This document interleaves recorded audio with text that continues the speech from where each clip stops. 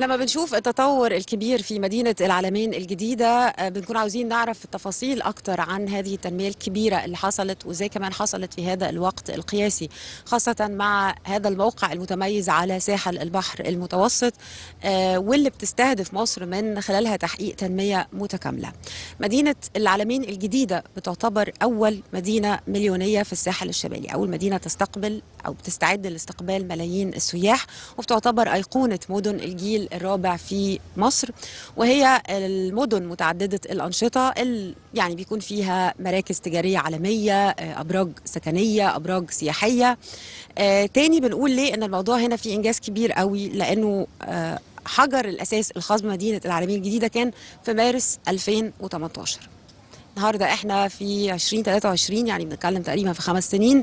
في هذا الوقت أو كل هذا الوقت كان العمل مستمر على مدار الساعة علشان يتم تنفيذ كافة المشروعات الخدمية والتنموية والسياحية عشان في النهاية نجد هذا الجمال اللي موجود حاليا في هذه الأرض. وكمان آه، العالمين في عدد كبير من المناطق الثقافية والسياحية والصناعية أيضا مناطق بحثية فيها جامعات أهلية فيها فنادق على أعلى آه، مستوى آه، فيهم كمان آه، موجود مقرين للرئاسه ومجلس الوزراء فيها مناطق سكنية كثيرة.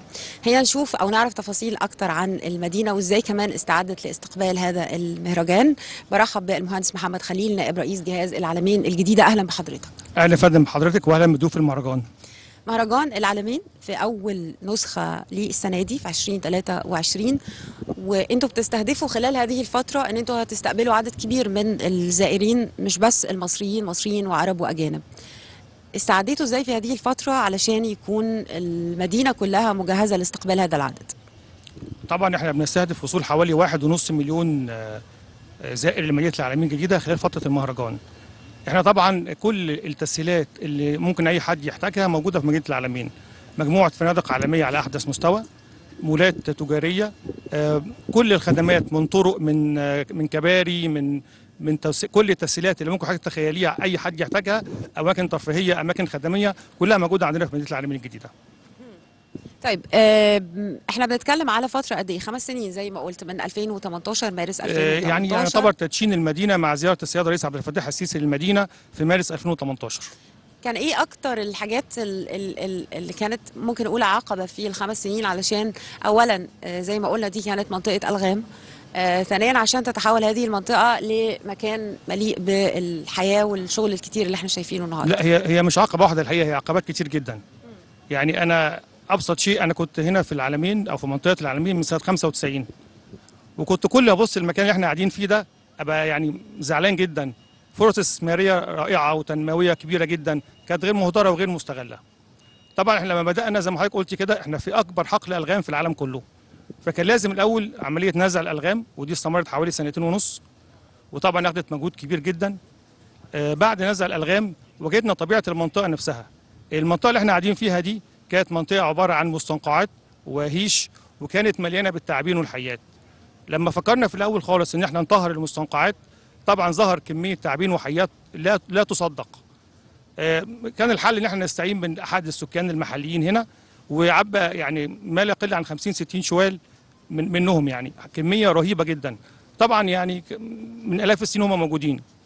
آه، غير طبعا العقبات الهندسية اللي واجهتنا في طبيعة الأرض هي المستنقعات.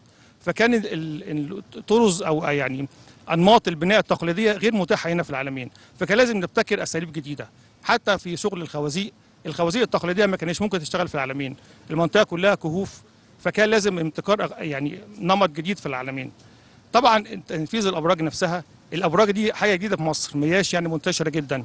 فكان لازم إن إحنا نستعين بكل الخبرات اللي تسهل الموضوع. طبعا إحنا الحمد لله في الخمس سنين دول زي ما حضرتك قلتي برضو إن العمل مستمر 24 ساعة ما توقفناش ابدا. في كل الظروف كنا شغالين أيام كورونا كنا شغالين في كل الأوقات كنا شغالين. الحمد لله بدعم القيادة السياسية وبدعم كل القيادات. إحنا مستمرين في العمل وإن شاء الله يعني مدينة العالمين الصيف الجاي هتلاقي كل الأبراج دي ساكنة والناس فيها. الأبراج وإحنا هنا موجودين في اللوكيشن اللي إحنا أو موقع التصوير اللي بنصور آه، منه. أعتقد الكاميرا أكيد آه، آه، مصطفى طول الوقت مغطي بالظبط. كل ده أنا شايفة هنا دولت اتنين من الأبراج صح كده؟ آه بالظبط. البرجين دول اسمهم The Gate اسمهم The Gate The Gate Towers آه. دي اتنين من الأبراج. خلينا نشرح للناس إنه في هنا مجموعة من الأبراج في برج تاني اللي هو البرج اللي هو الأطول. إحنا هو- بص حضرتك إحنا عندنا ال- الأبراج على ثلاث مراحل. المرحلة الأولى 15 برج. منهم البرجين اللي إحنا شايفينهم ورانا دول. آه دي كانت المرحلة الأولى فيها دي المرحلة 15 الأولى، برج نفذنا. منهم اتنين. لا يا فندم ال 15 كلهم متنفذين. ال 15 كلهم. وكلهم في نفس المستوى في التشطيبات النهائية. تمام. وإن شاء الله على بداية أبراج السنة سكنية. أبراج سكنية. كلها أبراج سكنية. وإن شاء الله على بداية السنة تكون جاهزة لل- لل- للتسليم. تمام.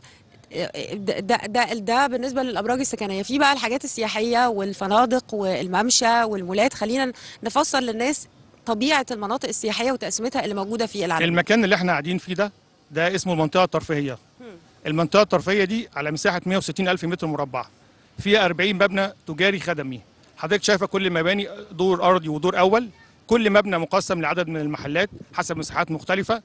حضرتك يمكن انت دلوقتي أشرتي لأحد ال- البراندات المشهورة جدا اللي موجودة عندنا هنا مش هنقول اسمه. آه موجودة. مش هنقول اسمه. فإن شاء الله يعني أي حد هيجي هنا منطقة ترفيهية هيلاقي كل الخدمات اللي ممكن يتخيلها. اولا أنا عايز اكد إن العالمين مدينة ما هياش منتجع ولا هي قرية سياحية. العالمين. مدينة مفتوحة لكل المصريين. سعادتك ايا كان طبقتك الاجتماعية أو الاقتصادية ليكي مكان في العالمين حضرتك لو انت عايزة تيجي العالمين من غير ما تصرفي ولا مليم وتستمتعي هتستمتعي. حضرتك لما دخلتي هنا حد منعك من الدخول؟ ولا أي حد من الناس اللي حوالينا حد منعها من الدخول؟ اطلاقا. المكان مفتوح في مقاعد في نوافير شغالة في إضاءة موجودة بالليل. ادخل اقعد اطفالك يلعبوا حواليك ما تصرفش ولا مليم. حضرتك الممشى بطول 7 كيلو. الممشى اللي هو قدامنا ده بطول 7 كيلو. بيمتد بطول المرحلة الأولى من مدينة العالمين في مقاعد حتى بالنهار في أماكن مظللة. في أماكن مصدر كهرباء لو عايز تشحني تليفونك مجانا 100% يعني مناطق ترفيهية زي ما حضرتك بتقول تقدر الناس تيجي تتمشى آه، اللي عايز يشرب حاجة اللي عايز يقعد شوية. في حدائق للأطفال لو حد عايز يلعب وممهده في كل الخدمات حضرتك. تخيليها يعني مثلا المكان اللي إحنا فيه ده عن- عندي تحت فيه جراج بيسع 3000 عربية. في أربع تجمعات خدمات كل كل تجمع خدمي في مسجد في دورات مياه للرجال والسيدات في أماكن لخدمة الأطفال في كل الخدمات اللي حضرتك تخيليها في سكليتورز تطلعك فوق في أسانسيرات في أسانسيرات مخصصة للمعوقين في كل الخدمات اللي حضرتك تخيليها موجودة ومجانا. الحاجة المهمة اللي حضرتك قلتها كمان وأشرت ليها إنه فكرة إنه مدينة العالمين الجديدة هي مش بس مكان الناس تصيف فيه وتمشي. لأنه كانت مشكلة الساحل الشمالي أو ال- ال- ال- ال- الفكرة إنه طول السنين اللي فاتت الساحل ده رغم إن هو مكان حلو قوي لكن هو شغال شهرين بس شهر سبعة وشهر تمانية أحيانا بيشتغل آخر أسبوعين في شهر ستة وأول وآخر أسبوعين في شهر تسعة. بعد كده طول السنة المكان ده محدش بيفكر آه، من طبعا زوار بقية المحافظات أو حتى من بره مصر إن هو يزور ال ال ال الساحل. فهل الهدف بالفعل إنه العالمين تخلي الساحل ده منطقة زيه زي باقي المحافظات شغال طول الوقت آه، هل ده هيتنفذ لأنه في مثلا مدارس في جامعة في مستشفيات جاهزة طول الوقت هل ده معمول في الحساب في الحسبان إنه بعد قد إيه يقدر الناس تيجي تعيش بشكل إقامة كاملة هي وعائلاتها في مدينة العالمين مش بعد قد إيه الناس قايمة حاليا مقيمة حاليا.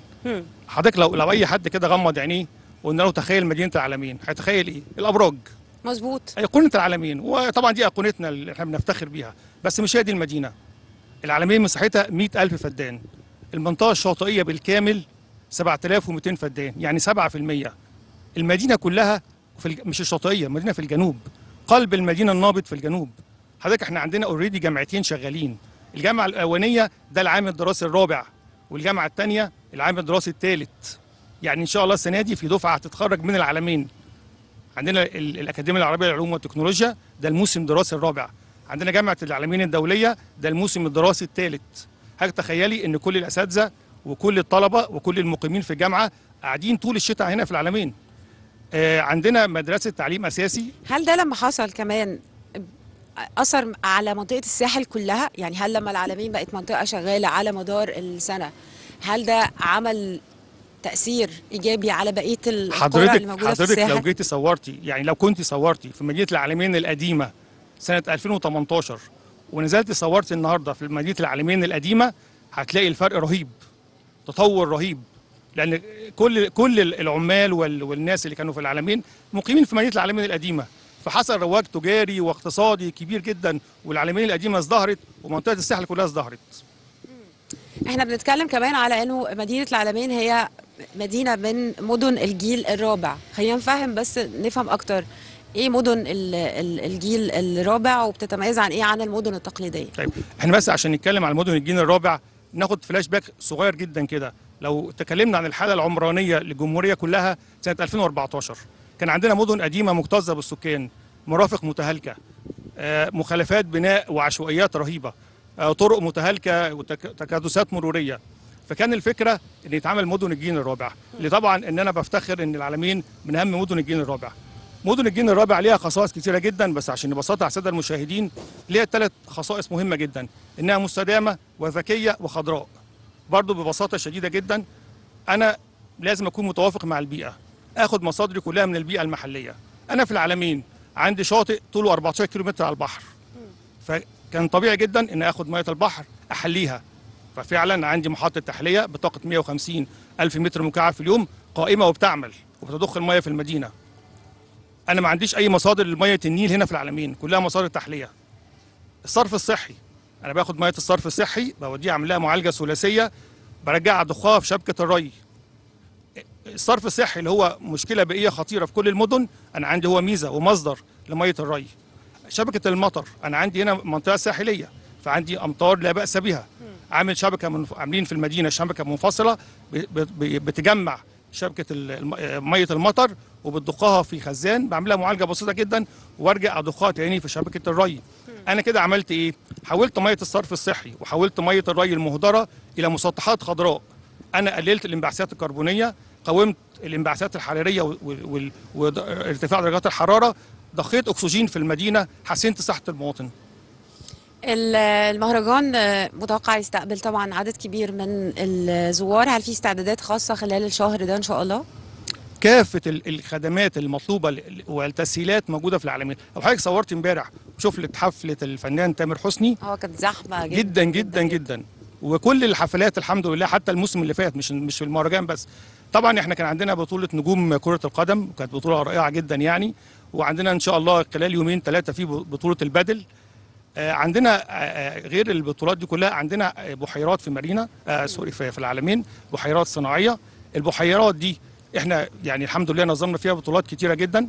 نظمنا فيها بطولات عربية وإفريقية ومحلية. نظمنا البطولة العالمية بطولة العالم للتجديف كانت في شهر أكتوبر اللي فات وكان رئيس الاتحاد الدولي موجود هنا في العالمين.